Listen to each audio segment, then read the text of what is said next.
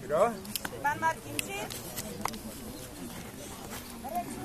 Pan Martin Váško. Sero Oklapavce, pan Karel Kinzo. Cyrus Hradní Smečky, pan Viktor Roháč.